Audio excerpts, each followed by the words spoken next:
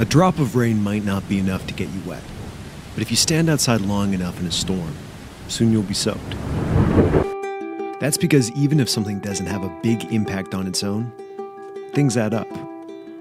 In part one of Footprint, we discuss declining caribou populations and the effects of multiple activities on their habitat. Moving forward, it's important to keep in mind that the caribou population is just one example of how a species is affected by disturbances. And throughout the series, we're going to be introducing a number of other examples to help put things into perspective. If you want to understand what is happening to caribou, you need to understand not just one, but a whole suite of different forces acting on their habitat. You need to look beyond one drop of rain at the whole storm. We call that combination cumulative effects.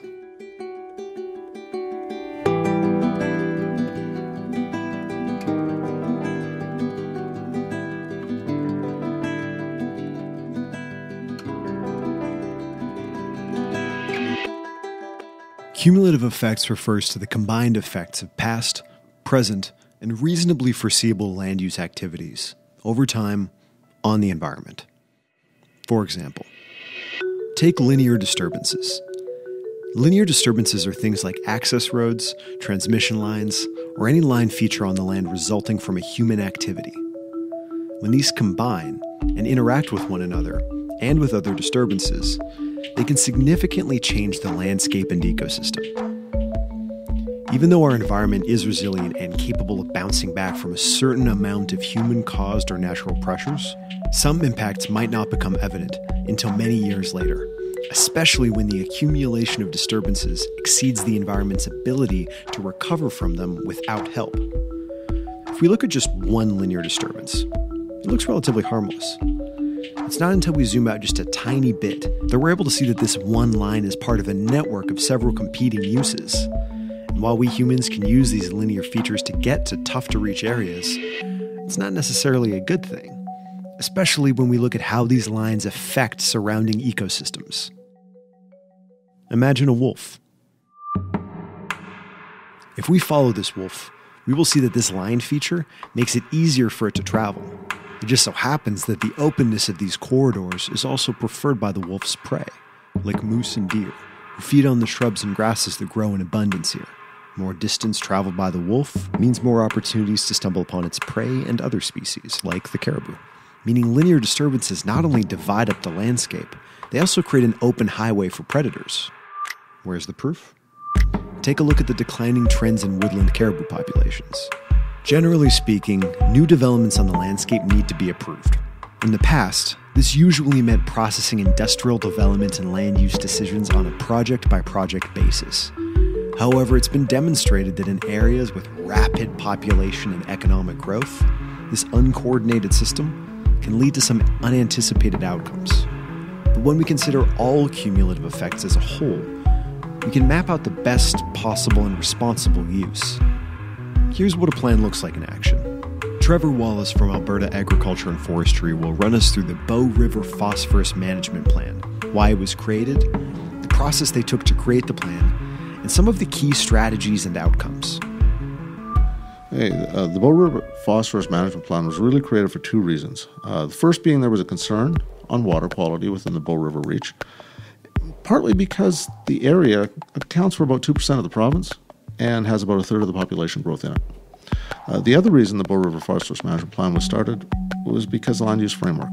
Uh, within the framework, there are management responses. Uh, if a threshold is exceeded, the question is how we get everybody together, all the parties involved, to address that exceedance.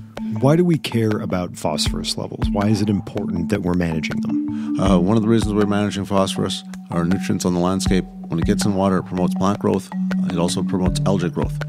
When one of the algae is called blue green algae, when that material dies, it releases a toxin, which is harmful to people and animals if consumed.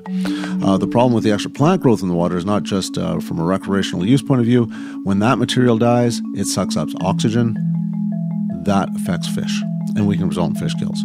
So the reason we're doing all this is reducing the amount of nutrients going in the water because the nutrients have an effect on plant growth, and the plant growth ultimately, when it dies, affects fish.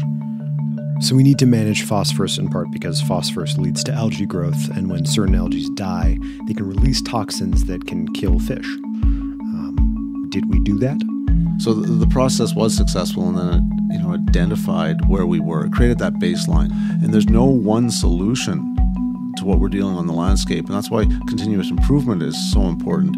Uh, it's going to take several activities to come towards a solution when we start with continuous improvement, it's bite-sized pieces. So we make little bit incremental changes, either because of technology adaptation or, or new technologies. There is no set point in this. It's always flowing. It's dynamic. So not only uh, the issue that we have today, it's going to be slightly different tomorrow because of increased population, changes in land use, changes in management. So our responses to that are always going to be changing. So it's it is essentially continuous improvement where we're making tweaks in the system because the system is always changing.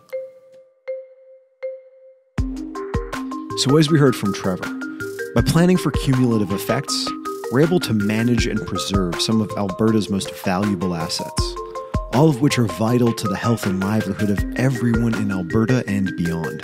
Since the impacts of our activities are not immediately evident, it's important for us to think more broadly about how our actions today can affect the landscape in the future.